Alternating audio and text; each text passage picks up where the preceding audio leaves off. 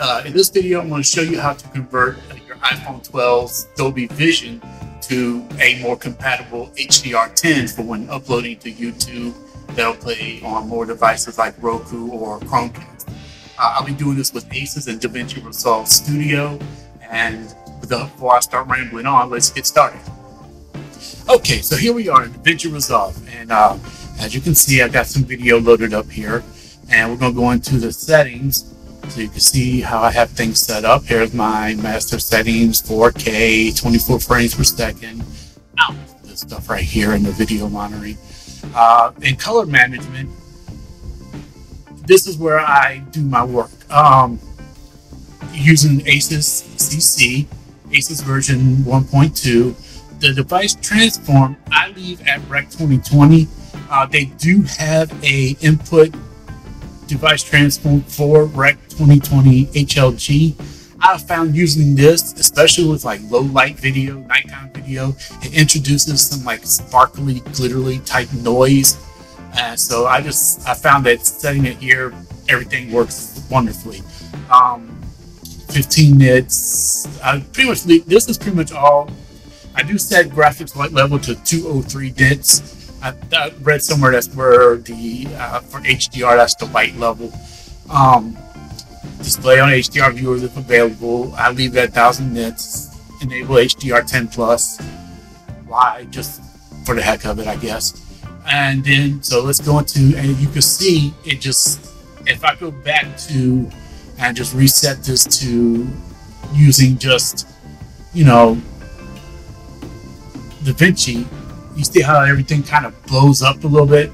But if, once I try change it back to, you know, ACES, you just it's almost like a night and day. Let me change that back to 203 and da da da. Those are all the changes I really need to make. You can see the difference. Um, and is by the way, this is also good for Rec 709. You can take this up to HDR. So if you have like a iPhone 11, iPhone 10, and you want to get into doing the HDR video, you have a way of doing it with this. Um, and then from there, I normally go in and do my little color grade, you know, maybe add a little contrast. And I'm just doing this real quick. And then about there, bring the loop gain down a smidge. And from here, I have a couple of uh, creative LUTs I like to use. So I will, now when you're working with ACES, Here's the weird part. I'm actually going to transfer this back to Rec 709. Let's go ahead and get some those going. So that's my color space transform.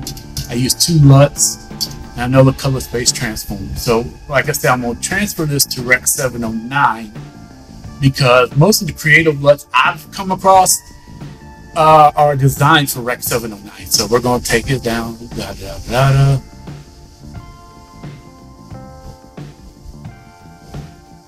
Rec 709, and then I just come in and I just go ahead automatically set these two because you kind of you're kind of bookending it in. So we'll this this last node will change it back to um, HDR. So you kind of you know bookending the, the, the LUTs into that.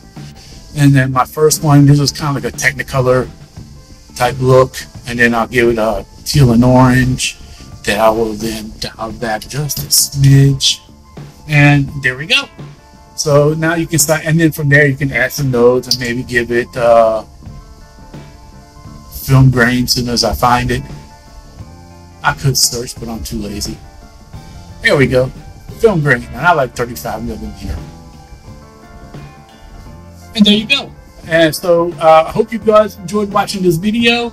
Uh, give me a like and subscribe if you did, and catch you in the next time. Peace.